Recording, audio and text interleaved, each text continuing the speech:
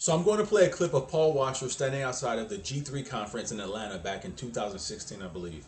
I had a much longer video uploaded to my first channel of this encounter, which gave a little more context to what happened here. But basically what happened was there was an abortion abolitionist organization that was pretty much causing problems at the G3 conference to the degree that they eventually got removed by security. Now, after the first day of the conference, these abolitionists confronted Paul Washer while he was walking with his son, Ian, back to his hotel.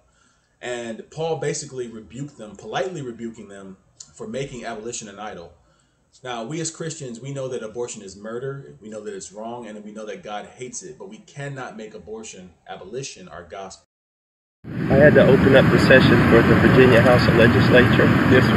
And the first thing on the docket, docket after I got done praying, first of all, the prayer was a scandal because I didn't do a general prayer. Right. But the first thing on the docket was abortion.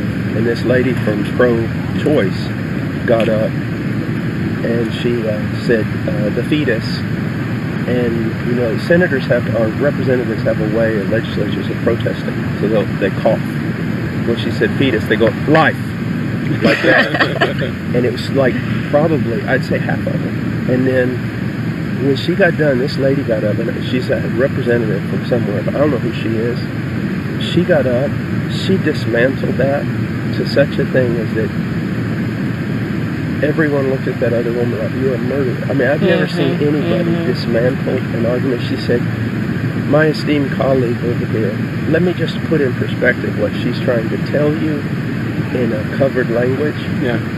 that since Roe versus Wade, the amount of people we have killed would be like if today we killed every human being in 25 states Yeah. of the United States Yep. of America. It's insanity. And uh, God has given us a respite to preach the gospel so that people will be saved. But there is no saving this nation. Yeah. This nation, the, the bell's already rung. It has to be destroyed. Even if there's a great revival and it lasts for 150 years and we put abortion away, totally away, God still has to come and destroy this nation because of the blood it's already shed. You There's blood guilt. Yeah, right. you don't do that. You don't. You don't. It. co- Look, it's not poetry. That's what people's problem. They look at the Bible as poetry. It's not poetry. When it said the blood cried from the ground, it, it doesn't mean God actually heard blood crying, but it is that powerful. Yeah. And it's always in his ears. That's why he has indignation every day, because every day he sees children murdered. hmm Amen. See, so he's mad. He Yeah. is mad every day. If he wasn't mad every day, one of the things you probably say is, if you don't have indignation of your, in your heart, are you even a good person? Yeah. Seeing people slaughtered. Okay? All right? Apply the same thing to God.